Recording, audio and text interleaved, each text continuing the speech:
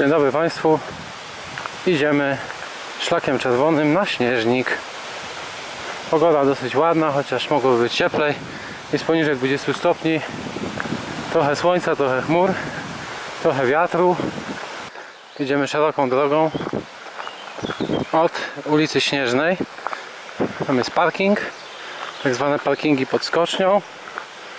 I to jest chyba najlepszy punkt właśnie wypadowy tutaj na Śnieżnik czerwonym szlakiem. Można iść oczywiście z Międzygórza, z centrum, ale z parkingu jest bliżej. To ważne. Dla leniwych, proszę Państwa. Według kierunkowskazu do schroniska pod Śnieżnikiem idzie się stąd półtorej godziny. Także dosyć krótko. A później już z- ze schroniska, to jest zielonym szlakiem, na szczyt. Rzekomo pół godziny.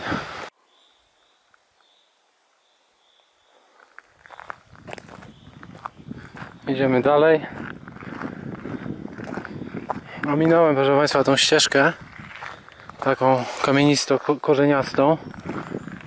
I poszedłem tą drogą jezdną, ale z powrotem jestem na szlaku. Czuję się tutaj już klimat wysokogórski, prawda? Absolutnie, to w ogóle nie ma porównania do nawet gór stołowych, czy też nie mówiąc o górach kamiennych, czy e, sowich, to już w ogóle.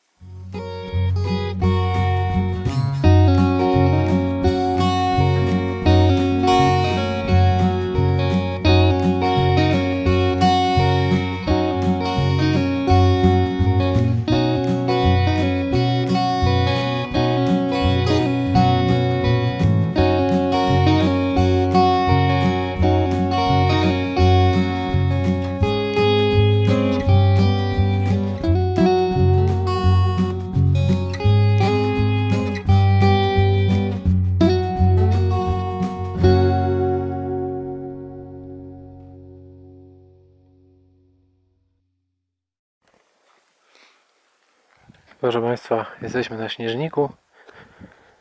Zajęło mi to około dwóch godzin, półtorej godziny do schroniska i pół godzinki tutaj na szczyt zielonym szlakiem.